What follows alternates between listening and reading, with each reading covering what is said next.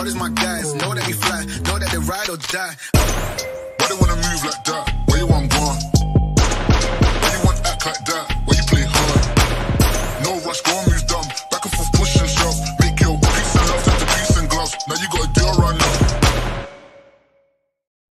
How does my guys know that we fly? Know that they ride or die.